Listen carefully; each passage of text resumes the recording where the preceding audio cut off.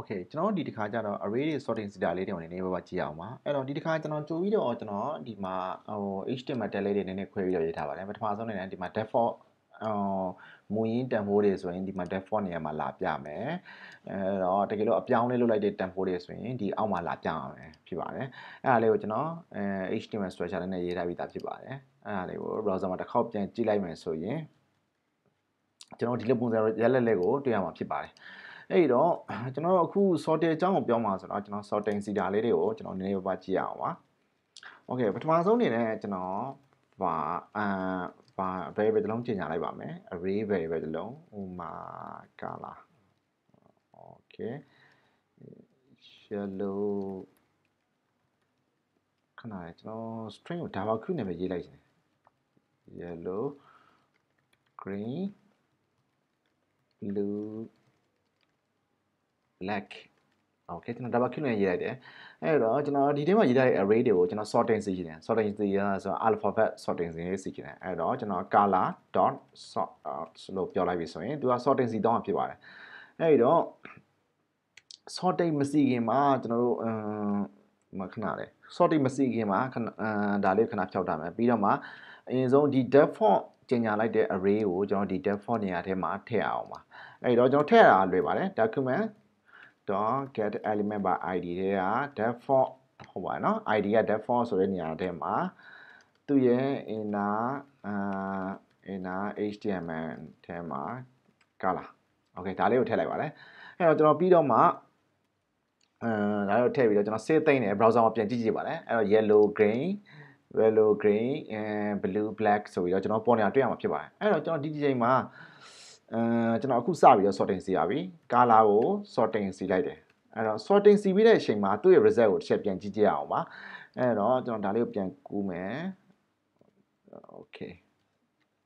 အဲ့တော့ကျွန်တော် sorting စီလိုက်တဲ့အချိန်မှာသူ့ရဲ့ result ကအပြောင်းလဲရှိသွားနိုင်ပါတယ်အဲ့တော့ result ကိုကျွန်တော်နောက်တစ်ခေါက်ပြန်ပြီးတော့ print ထုတ်ကြည့်အောင်မယ် okay ဒီအချိန်မှာကျတော့ black ကအရင်လာတယ်ပြီးတော့မှ blue လာတယ်ပြီးတော့မှ green လာတယ်ပြီးတော့မှ yellow လာတယ်အဲ့တော့ तू ကဘာလဲဆိုတော့ sorting ဆိုတဲ့သဘောကကြတော့ तू ကအယောင်တွေကို तू က alphabet အနေနဲ့စီးပေးတာဖြစ်ပါတယ်အဲ့တော့ကျွန်တော်အခုစီထားတဲ့ sorting ကိုကျွန်တော်ထပ်ပြီးတော့ကျွန်တော်တို့ဟိုဟာလုပ်လို့ရပါတယ်ကျွန်တော်အခုဒီလိုစီထားတာကို yellow ခြေဆုံးကလာခြင်းတယ် okay ရတယ်အဲ့လိုလေအဲ့ဒါကိုဆိုရင် color dot reverse လို့ပြောလိုက်ပြီဆိုရင်ကျွန်တော်ပြောင်းပြန်လှန်လိုက်တာပေါ့အခုလက်ရှိရှိနေတဲ့ variable ကိုကျွန်တော်ပြောင်းပြန်လှန်လိုက်တာဖြစ်ပါတယ်အပြန်ကြည့်လိုက်မယ်ဆိုရင်အော်ကျွန်တော်ပြောင်းပြန်လှန်လိုက်တဲ့ result ကိုရမှာဖြစ်ပါတယ်အဲ့တော့ကျွန်တော်ဒီလိုနည်းနဲ့လည်း sorting စီလို့ရပါတယ် အဲ့တော့အဲ့တော့စီတာနဲ့စီအဲ့တော့ကျွန်တော်တို့ string ရပါတယ် sorting စီတာပြဿနာမရှိဘူးဒီ sorting ဆိုတဲ့ function စီလို့ရတယ် reverse ဆိုတဲ့ function ကကျွန်တော်ပြောင်းပြန်လှန်လို့ရတယ်ဟုတ်ပြီတကယ်လို့များကျွန်တော်တို့ variable ကဟိုမှာ number သာဖြစ်ခဲ့ဆိုရင်ရောအဲ့တော့အဲနံပါတ်ဖြစ်ခဲ့တယ်ဆိုရင်ကျွန်တော်တို့အဲ့အဲ့တော့ဒီလိုမျိုးနဲ့ပုံစံနဲ့စီလို့မရတော့ပါဘူးအဲ့ဒီအချိန်မှာကျွန်တော်တို့တစ်ခုပြန်စမ်းကြည့်အောင်ပါ points ဆိုပြီးတော့အဲ array တစ်ခုကျင်ညာပဲအဲ point ထဲမှာအဲ50 40 80အဲ9 160 30 okay ကျွန်တော်အဒီမှာ array တစ်ခုကိုကျွန်တော်ကြီးညာလိုက်ပါတယ်အဲ့တော့ဒီ array ကိုကျွန်တော်အာလက်ရှိအဲကျွန်တော်အခု get element ပါ id ထဲကကျွန်တော် default ထဲမှာခဏထည့်ကြည့်အောင်အဲ့တော့အခု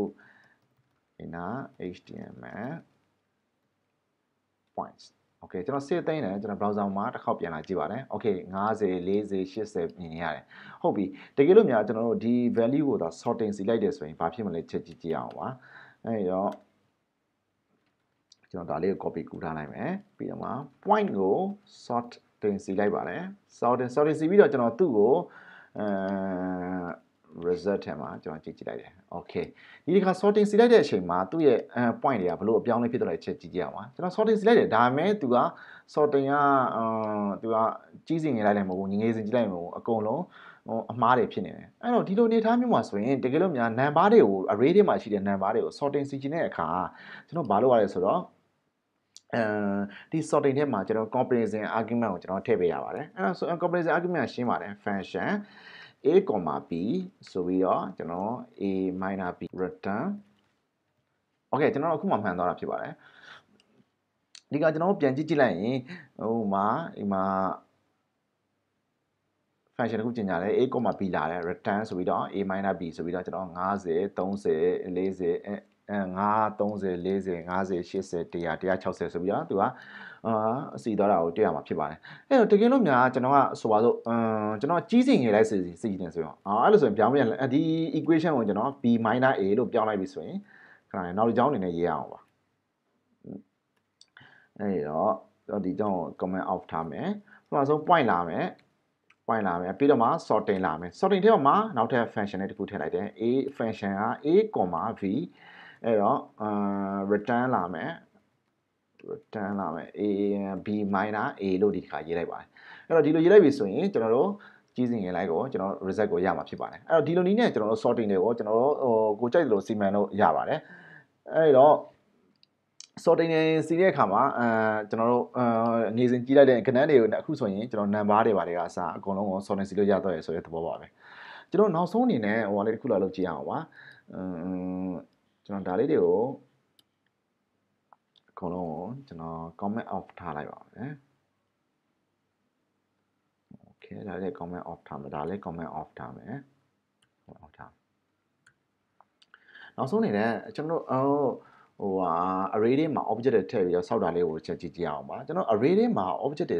ထည့်ပြီးတော့စောက်နေပါတယ်ဥပမာအနေနဲ့ဆိုရင် var ဥပမာ var text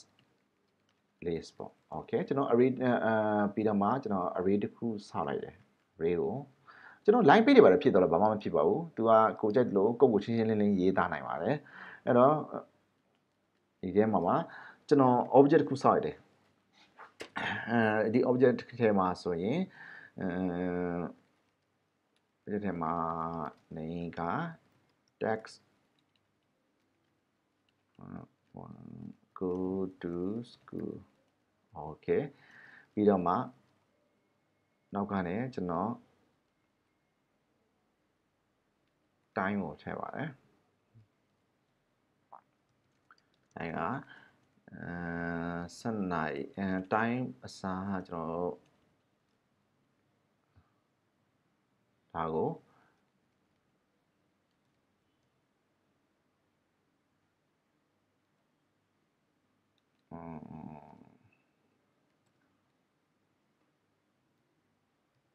priority ပေါ့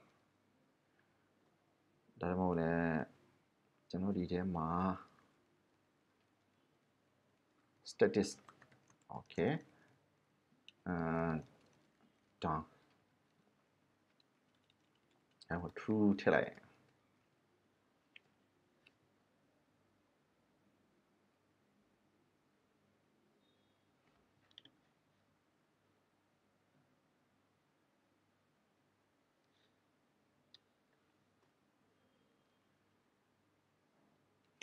ဒီတစ်ခါကျွန်တော် array တွေမှာ object ထည့်ပြီးတော့စောင့်ကြည့်အောင်ပါအဲ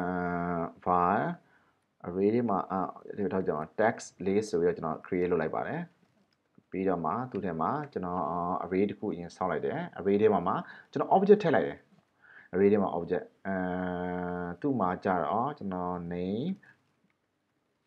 အဲ name ကကြတော့ go to school okay ပြီးတော့မှ status status က true okay ဒါက true အဲ့တော့ကျွန်တော်ဒီမှာ object တစ်ခုစောက်ရတယ်နောက်အဲ့တော့ကျွန်တော်နောက်တစ်ခု create လုပ်လိုက်တယ်နောက်နှစ်ခုသုံးခုလေးခုလောက် create လုပ်လိုက်မယ် go to store to store က for pause uh go to do more or, or more true go to to station station ကောင်းကြတော့ false okay ဒီလို array နဲ့အဲကျွန်တော်အာကျွန်တော် array ထဲမှာဒီမှာ object တွေထည့်ပြီးဆောက်ရတာပါဒါပေမဲ့ဘလို့ပဲထည့်ထည့်သူက comma လေးနဲ့အဲ separate လုပ်ပါတယ်ကျွန်တော်တို့ဒီမှာအရင် share တင်ခဲ့တာလည်းဥပမာလုပ်ခဲ့သလိုကျွန်တော်တို့ array တစ်ခုစောက်တွေဆိုကြတဲ့ square bracket နဲ့ထည့်တယ်အဲ့ဒီသူ့အထက်မှာကျွန်တော်တို့ item လေးတွေကိုလာထည့်ရဆိုရတော့ပါ item 1 item အဲ item 2 အဲ item 3အဲ့တော့ဆိုတဲ့သဘောကဒီမှာ item ဒီကောင်တစ်ခုချင်းစီက item တစ်ခုချင်းစီပဲဒီကောင်တစ်ခုချင်းစီက item တစ်ခုချင်းစီပဲအဲ့တော့ဒီတစ်ခုချင်းစီကလည်း item တစ်ခုချင်းစီဖြစ်ပါတယ်အဲ့တော့ကျွန်တော်တို့ဟုတ်ပြီဒီကောင် array ရဲ့ခန်းနံပါတ်ဘယ်လောက်လဲအဲဆိုရင်ကြားသိကြတယ် array ရဲ့ခန်းနံပါတ်သူက index 1ဒီကောင်ကကြတော့ index 2ဒီကောင်ကကြတော့ index 3ဒီကောင်ကကြတော့ index 4ဖြစ်ပါတယ်အဲ့တော့ကျွန်တော်ဒီကောင်ကို console လေးထုတ်ပြီးတော့ရိုက်ကြည့်ပြီးတော့စမ်းကြည့်အောင်ပါတကယ်တော့ကျွန်တော် array ရဲ့ console တော့ alert ပေါ်နဲ့ရိုက်ကြည့်အောင်ပါ alert ဖြစ်ဖြစ် console နဲ့ရိုက်တာပိုကောင်းမယ်ထင်တယ်နော် object ဖြစ်တော့ကျွန်တော် text list ကိုယူလိုက်တယ် text list ထဲက array တွေကမှကျွန်တော် index number အခန်း number index အခန်း number အမ်ကျွန်တော်တို့ sorry အခုမှဒီမှာ3ညဖြစ်မှာ array က3ညနဲ့စရဆိုတော့အာ နေ3 okay ကျွန်တော် text list ထဲမှာကျွန်တော် array အခန်း number 1ကိုရိုက်ထည့်အောင်ပါ okay 1 okay စေးသိမ့်တယ်ကျွန်တော် browser မှာတစ်ခါတော့ပြန်လာကြည့်အောင်မယ်